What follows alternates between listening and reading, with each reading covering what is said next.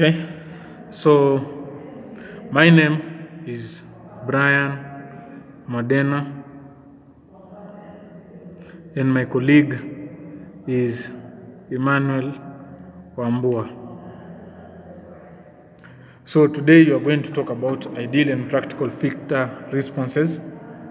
And basically what this means is that all the responses that we've done from the band pass, high pass, low pass, and the notch responses can be categorized into two either ideal responses or practical responses. Ideal responses are difficult to achieve simply because the components that we are using in filter fabrication are usually not that ideal to themselves and plus they take a lot of time. Or sorry not a lot of time but they take quite some time to charge to maximum and to discharge. We shall see this later when you're doing analysis because the energy storing components that is the capacitor and inductor usually take time to charge and to discharge. And that is why achieving this ideal response is usually more theoretical than realistic. But however in our filter design we shall always try to be as close as to the ideal as possible so that you are able to avoid unnecessary losses because any fabrication that will come out to be having so many losses is going to have a very poor efficiency and its overall cost will be very expensive at the end. And this is because suppose you're taking a signal and most of it is wasted as losses the output that you're going to get you realize is not what that you had expected. And so we try to design filters to be as ideal as possible such that for example if you are using a tv or a radio or anything that produces sound and we have noise that is available in that system we try to ensure that we do not have that noise and that the voice that you're going to get from that audio appliance is as clean as possible. Now, let us look at ideal and practical filter responses. Now, an ideal response is a response that usually mimics a brick wall characteristic. That's why they are also known as brick wall characteristics.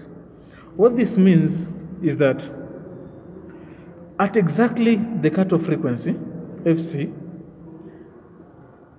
the unwanted signal is taken to zero. Okay? So these are the unwanted frequencies, and these are the wanted frequencies. So any frequency range, so the wanted frequency is within this range, from zero to FC. This we can we would like to have these frequencies. But any frequency that is beyond FC goes to zero immediately. No roll off, nothing. As you can see, this is very steep. The roll off is very, very, very fast. That you can see the change from 1 to 0 is abrupt. 1 to 0 is very abrupt. Now, the ideal characteristics of a low pass filter, the practical characteristics, sorry, is that way. And you say this is the 0.707, say this is 1, and say this is the cutoff frequency. And as you can see, from the cutoff frequency onwards, this change from 1 to 0 is not that abrupt. We have some time, and that means some of these frequencies, some of these unwanted frequencies are available in your, in your system. So this is what we call the ideal response or the brick wall characteristic. And this is what we call the practical response. And the reason as to why we usually do not achieve this Ideal response is because we usually use energy storage ele elements, that is the capacitor, and in some cases the inductor in, in passive filters. And that's why we have this transition. So in this case, this is our pass band and this is our stop band. This is our cutoff frequency. Similarly, this is our passband, and this is our stop band. So this was low pass filter.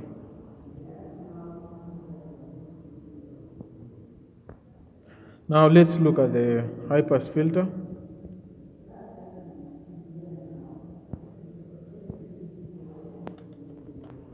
So the ideal characteristics of high pass filter is that way. So this is FC, this is zero, and this is the pass band region.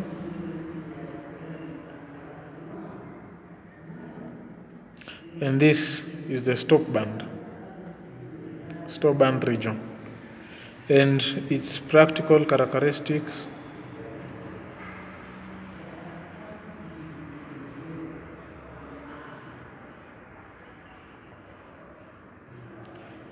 so FC this one so pass stop. Uh, let's look at the um, band pass filter.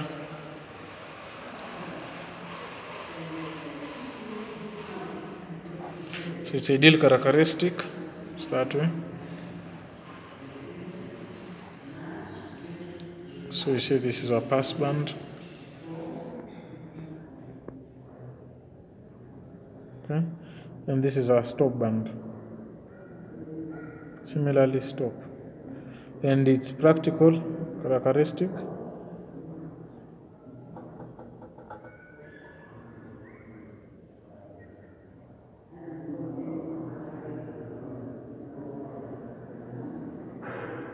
So this is our pass band.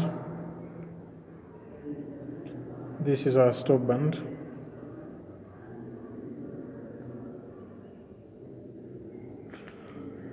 Uh, we can also come and look about look at the band reject or notch filter. The ideal response.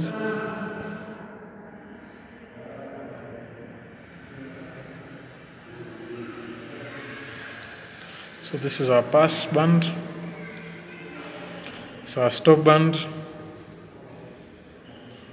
surpassment.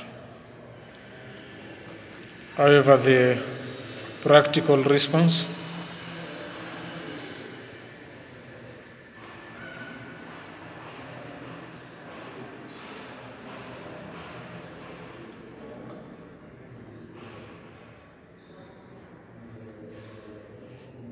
so